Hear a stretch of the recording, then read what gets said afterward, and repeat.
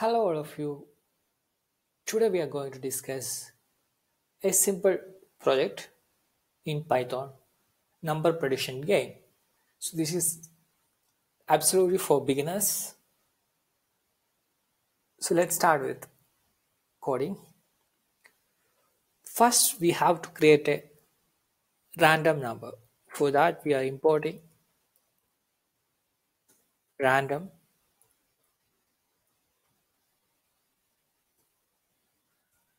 next assigning random value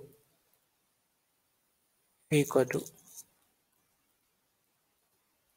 random dot. This is for randint. So here i'm designing 1 to 10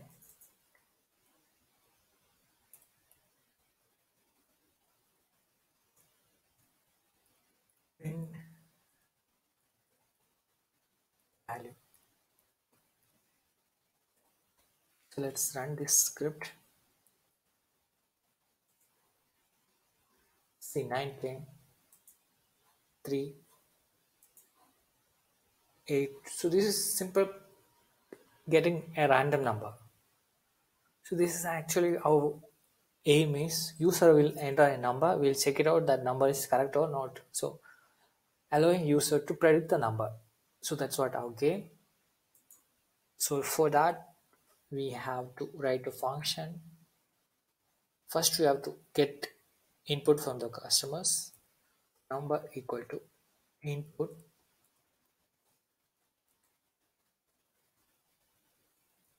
enter a number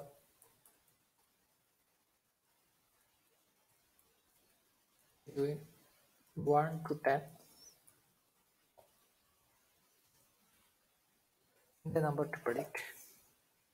the number between 1 to 10 to predict.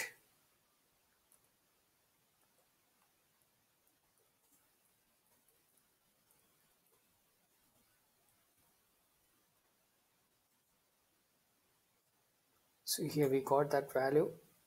Next is we have to print number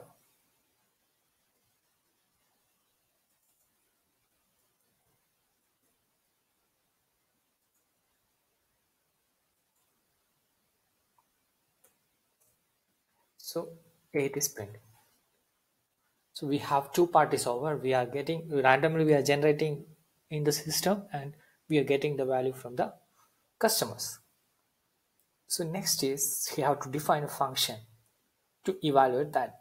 Define. Check. Predict. So this is a function. We are going to define a function here. So function normally start with def keyword with function name. This is function function name. You can give any name any of sort of check prediction you can give prediction or something anyone any name you can give. This is the argument. And after that you have to add column. And uh, here intent you can see the space is there right? After define some space will be there. That means inside the function we are defining we don't have brace here in python. So we are using like like this spacing to separate the values and code. So here we have number. Next is we are giving if condition. If value equal to equal to number means? The value equal to number means you have to print yes.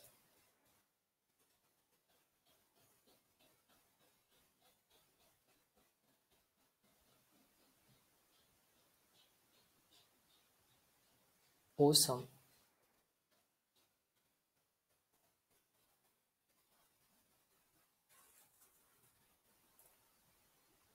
Your prediction was correct.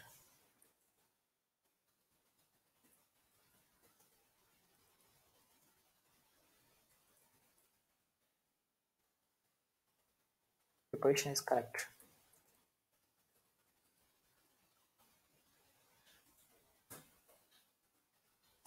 Yes.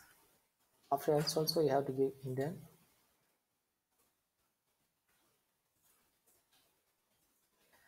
else print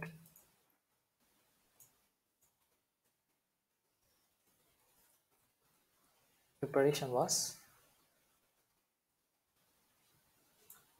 Sorry. Correct number is.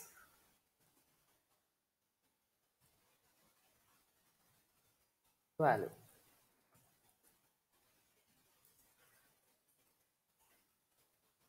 so here you have to call this function. How we call this function? You have to call like this.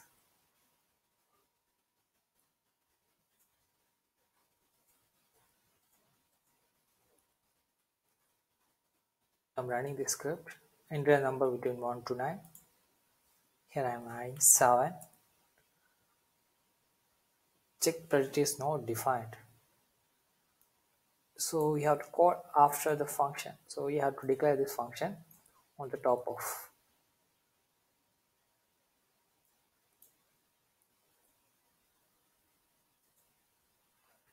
the number. I'm adding 7 so the correct number is 2 so this is like prediction. I added 8 output was 8 so the number is correct. So I am restarting the kernel again.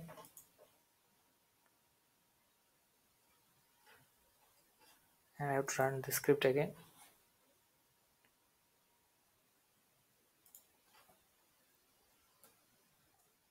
So the number was 3 so this is the prediction small prediction this thing. So next is now I'm going to try change these things until I'll get the correct answer I have to try. For that I'll write this as a function. Define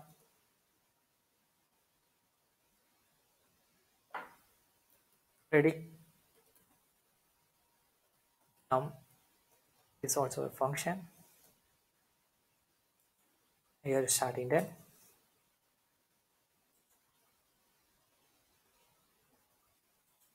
number is this. And we are calling this function inside this. Then we are calling here. Let's see what will happen. The number to predict 1 to 7 7 so the correct was number was 2 so this correct number was 2 so here you have to call this function again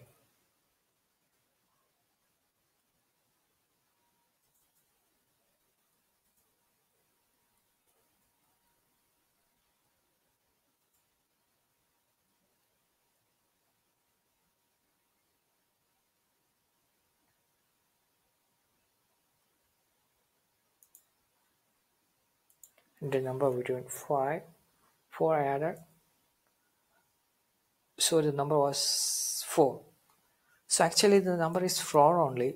But why I got that message? Because you should calculate as integer because it's getting as a string. So you have to use eval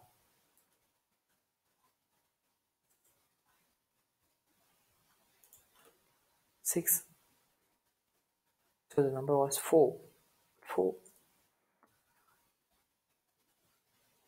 so the correct number is 3 so we have to remove restart kernel because it is executing